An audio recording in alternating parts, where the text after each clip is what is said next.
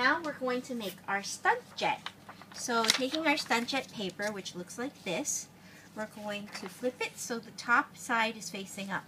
Now we're going to fold it in half from left to right, like this, and crease it in the middle very well.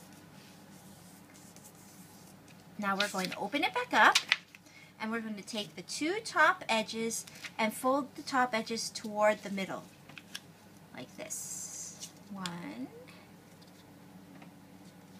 making sure we make a nice triangle crease, and the other one toward the middle with a nice pointy end at the top.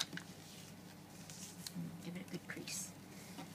Next, we're going to take the two outer edges and fold them towards the middle along the two dotted lines here.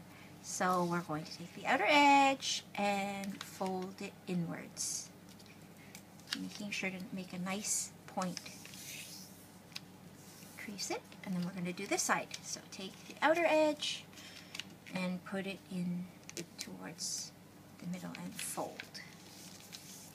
Okay. So we're now going to turn the whole thing over and we're going to take the two outer edges and fold them in towards the middle again. So taking the outside edges and folding edge. Just getting nice and skinny triangle. And then we're going to take our fingernails and push in so we get a nice pointy edge and fold that side in as well. Okay, so now we're going to flip it over and fold it in half. We're going to take the two outside flaps and flip them outwards and then you have a place to hold along the middle on the bottom. And we're going to take a pair of scissors and we're going to cut one snip along the red edge and we're going to take this part and flip it upwards so it makes a nice tail and there you have your stunt jet ready to fly.